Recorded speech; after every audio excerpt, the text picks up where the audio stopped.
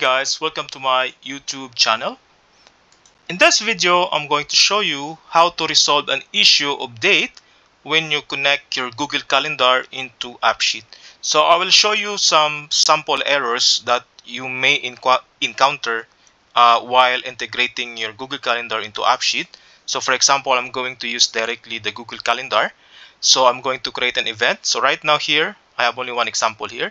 So let's say I'm going to create an event. Let's say I'm going to place this on, let's say March 1st. This is 2025, and let's keep the uh, the time the same. And once I save, so it should be March March 1, right? March 1, 2025. Okay, that's the title of the event. And once I save, okay, in the calendar, in the calendar it's showing here that I have an event here on March 1 and then going to the AppSheet. Let's refresh the app. And as you can see here the title is March 1 but the start is on January 3rd 2025 so it's like uh, so the instead of the month is 3 it goes to the day you know? So let's add another example. Let's say another example let's create another event let's say on March uh, let's say March 2 okay so this should be saved as March 2 2025 once I save and as you can see I have an event here on March 2 2025 on my Google Calendar.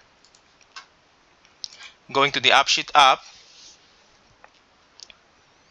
it saves as February 3 2025 which is the start date. If we are also going to add it in AppSheet let's say start date will be I'm going to use uh, let's say March 4 okay? March 4 the start date.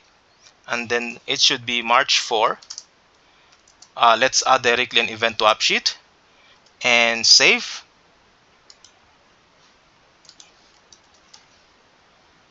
Okay?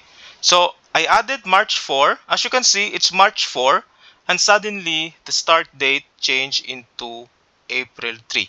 So if we're facing this issue, I will show you how to resolve easily this kind of problem with Google Calendar integration. Okay, so let's go to the uh, AppSheet app. So in the AppSheet app, uh, if you already connected the calendar, for those who don't know how to connect the Google Calendar, all you have to do is just click this add new data. Then down here select the Google Calendar. Since I, I already connected this if, if you cannot see a Google Calendar here you can just click new source and then select the Google Calendar here okay? So now let's go back to the solutions. Alright so in the solution all you have to do is that uh, second all you have to do is that go to the uh, table of the calendar. Then here all you have to do is that we need to find the local settings of this. So there is a local settings of this. As you can see here if you are using this new view of AppSheet this is the settings. You can click the settings. If you're using the old view you can just click this and it returns to the old view. And then you can just go to the table primary localization and you can see the localization here. If you're using the new the new view AppSheet so it's just here to the primary table and select the settings. So go to the lo localization uh, make sure the localization you are using is in US because if you use any of this localization you might face this issue. So let's try to change this into US uh, English English US so this is the one. English United States and then save. Okay? Alright so now um, let's refresh the app. I'm going to add an event in the uh, calendar directly. So let's say I'm going to create an event. And let's say I'm going to create an event of March March 8 okay? So this should be saved as March 8 March 08 2025 and then save. So as you can see I have an event on uh, for March 8 here. Let's check the AppSheet. So we have the title March 8 and it's saved here as August. Still saved as August 3 alright as you can see still we have an issue. Let's try to uh, test again or maybe this is a different app let me just save it and see. Okay so now it's completely synced. Let's try to add first in AppSheet okay? So I'm going to add here should be March 9 2025 so I'm going to select March 9 and that's it and save so I have an event on March 9 and it's showing here March 9 as well. So it never changed now. So it's going to be a correct date. And now let's try again adding it in the calendar directly from the calendar. All right. An event. So the event will be March 7 for example. So I'm going to change this date into March 7 so the date will be on March 7 the event save and let's see if it's fixed the issue. So we have an event name or title name of March 7 and you can, as you can see it's March 7 as well here.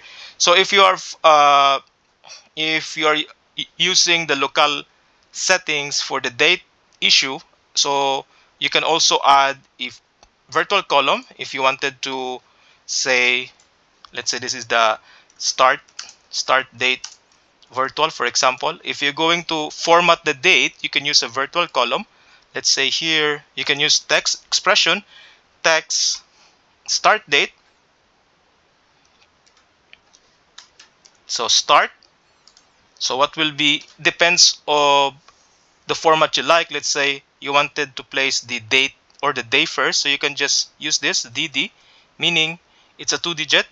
So DD, uh, let's say month. If you want to keep this as a number, so you can just uh, put 2M. If you want to keep it as a text, I mean, for example, January, it's J-E-N.